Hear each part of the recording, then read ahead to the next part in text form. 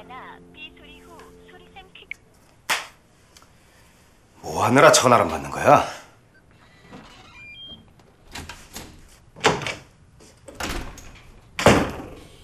당신 뭐 하는 사람이야?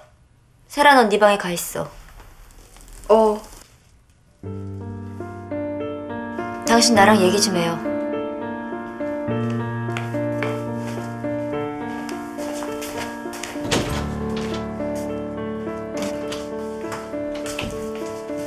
그래 무슨 얘기 하나 보자 세라 데리고 병원을 했더니 뭐 했어 전화도 안 받고 도저히 데려갈 수가 없었어요. 그럼 어쩌자고 그래서 생각 좀 정리하고 왔어요.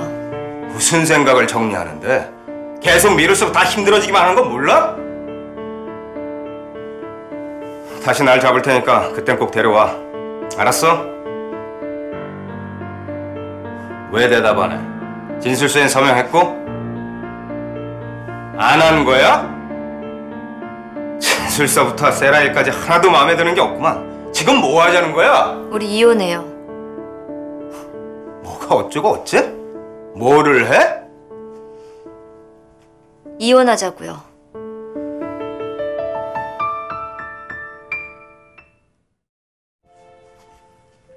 이혼?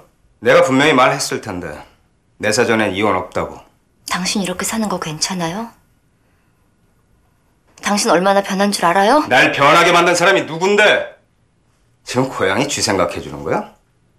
꼭 날 위해서 이혼하자는 것처럼 들리네? 내가 옆에 있으면 당신 계속 힘들 거예요. 그러니까 우리 이쯤에서 끝내요. 저도 너무 지쳤어요. 지쳤다고? 네. 저 지금 움직일 힘도 없어요. 너무 지쳤어요. 그냥 좀 쉬고 싶어요. 아무것도 필요 없고 세라 세진이만 줘요. 제가 키울게요. 뭐? 다른 거 다 필요 없어요.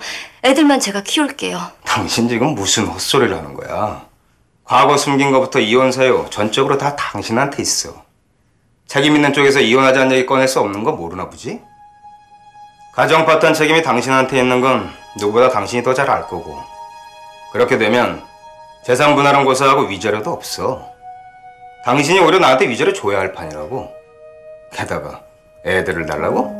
당신이 무슨 능력으로 애들 키울 건데? 세진이 세라한테 한 달에 얼마가 들어가는진 당신이 더 잘 알 텐데. 매달 수백만 원씩 되는 애들 교육비까지 갈 것도 없어. 당신 하나 입고 먹는 데 드는 유지비 10원 한 장 벌어본 적 없는 사람이 그 돈 감당할 수 있을 것 같아? 백화점 쇼핑하고 애들 등하교 시키는 것 말고 할 줄 아는 게 뭐가 있는데 정신 차려 당신 권지현일 땐 아무것도 아니야 이규식 와이프일 때나 사모님인 거라고 당신 이렇게 천지분간 못하는 여자였나? 다시 이혼하자는 소리 한 번만 더 꺼내 그땐 정말 나도 가만히 있지 않겠어 알았어?